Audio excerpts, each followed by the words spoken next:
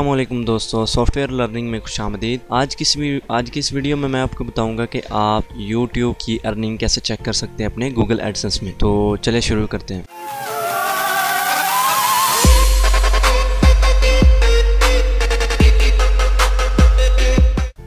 इसके लिए सबसे पहले आपको अपना एडसेंस ओपन करना पड़ेगा और यहाँ पे मेरे पास एक होस्टेड एडसेंस है जो हम अपने यूट्यूब चैनल के साथ यूज़ करते हैं। तो सबसे पहले आपको परफॉर्मेंस रिपोर्ट्स पे क्लिक करना होगा।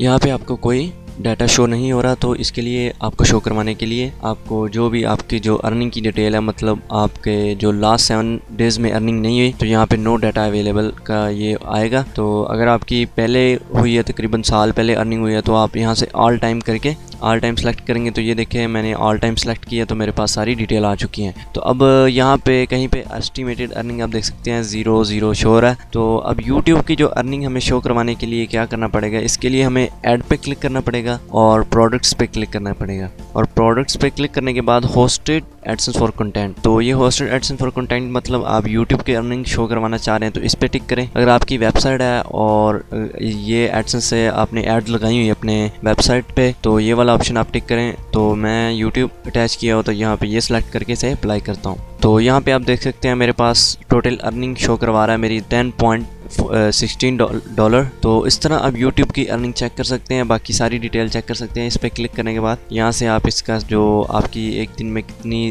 अर्निंग हुई मतलब ये ग्राफ की शक्ल में आप देख सकते हैं। बाकी यहाँ पे आप सारी डिटेल चेक कर सकते हैं डेट किस डेट को कितने पेज व्यूज़ इंप्रेशन क्लिक्स ये सारी चीज़ें आप देख सकते हैं। तो उम्मीद करता हूँ आपको वीडियो अच्छी लगी होगी। अगर वीडियो अच्छी लगी हो तो चैनल को ज़रूर सब्सक्राइब करें। खुदा हाफिज़।